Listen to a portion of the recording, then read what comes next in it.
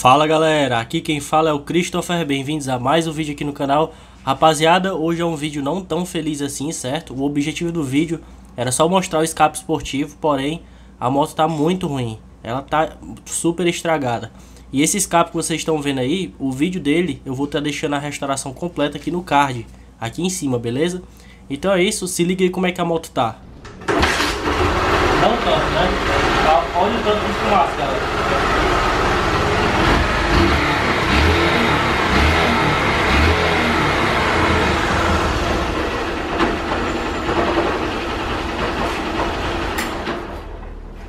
Olha isso, rapaziada, que merda, hein? Como vocês puderam ver, muita fumaça, galera, muita mesmo. Aí vai uma dica, se você tá com a moto com problema, por exemplo, fumaçando, e você não tem dinheiro para consertar a moto, pode ficar repondo óleo. Se sua moto fumaça muito, significa que ela tá rebolando muito óleo fora. Então, vocês vão sempre estar tá repondo e olhando o nível. Assim a moto vai durar pelo menos mais um mês aí, certo? Nunca deixe faltar o óleo, que ela não vai travar. Porém, a situação vai piorando cada vez mais. Quando eu comprei ela de leilão, que eu botei o óleo, botei tudo, ela saiu um, um pouquinho de fumaça ali, um bem pouquinho assim, eu achei que não era nem relevante.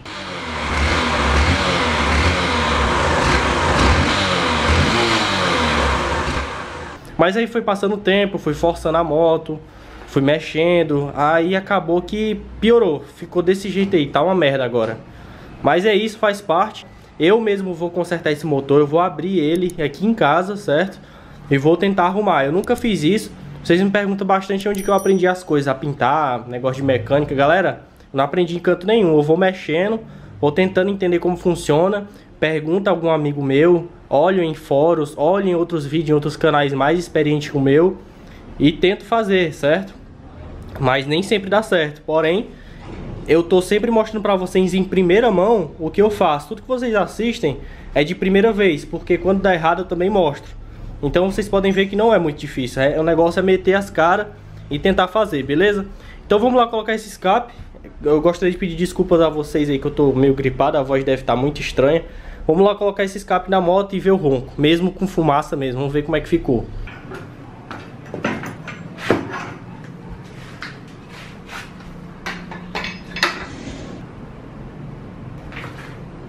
Escape montado, não tem dificuldade. Aqui os mesmos dois parafusos 12. A diferença é que aqui embaixo não vai ser mais preso aqui. Vai ser preso no bacalhau, beleza? E tá aí.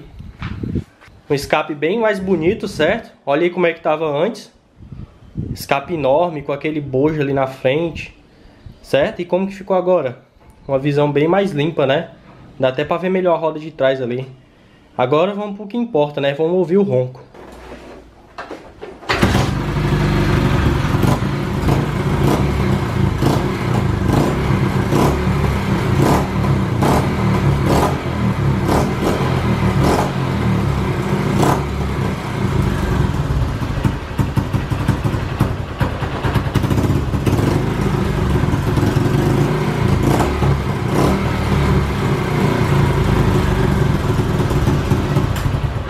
Caraca, galera, o ronco ficou muito top.